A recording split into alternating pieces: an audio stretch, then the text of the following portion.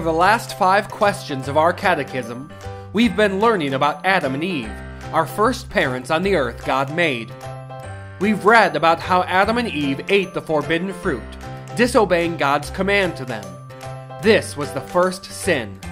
Let's look at our next question. Number 17. What effect did the sin of Adam have on all mankind? And the answer?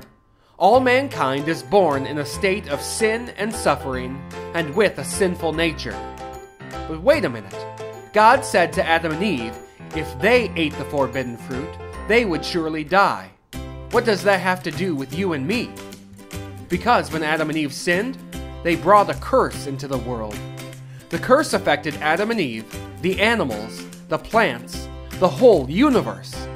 Listen to what the Bible book of Romans, chapter 5 says.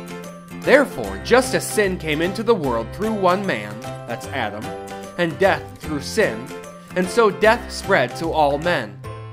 The curse of Adam's sin spread like a disease from Adam to his children, to his grandchildren, and eventually to you and me. Because of this, listen to what Psalm number 51 says about us. Behold, I was brought forth in iniquity, that means sin, and in sin did my mother conceive me. Because Adam sinned, we are all born sinners, or in a state of sin.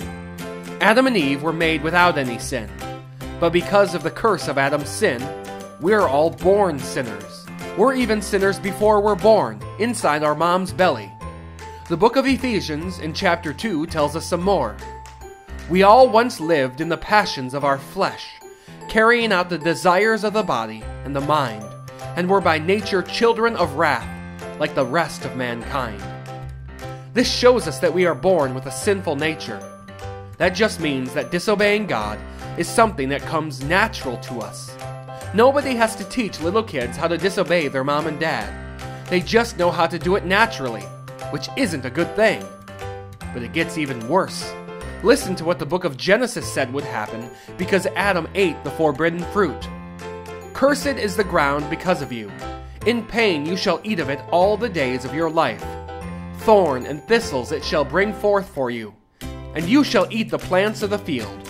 By the sweat of your face you shall eat bread, till you return to the ground, for out of it you were taken. For you are dust, and to dust you shall return. Because Adam sinned, we are born in a world filled with suffering. People suffer pain, they get sick, their work can be frustrating and hard. We experience sadness, and eventually, we die. This world of suffering is a lot different than the beautiful garden God made for Adam and Eve. Our world is one cursed by Adam's and our sin. But there's good news. The Bible book of Galatians, chapter 3, says this Christ Jesus redeemed us from the curse of the law by becoming a curse for us. This tells us that God sent his son Jesus to rescue us from Adam's curse. He did that by dying on a cross to pay the curse of death that we'd earned. And the Bible tells us that one day Jesus will make our world into a brand new, curse free place again. So let's look at our question one last time. Number 17 What effect did the sin of Adam have on all mankind? And the answer All mankind is born in a state of sin and suffering and with a sinful nature.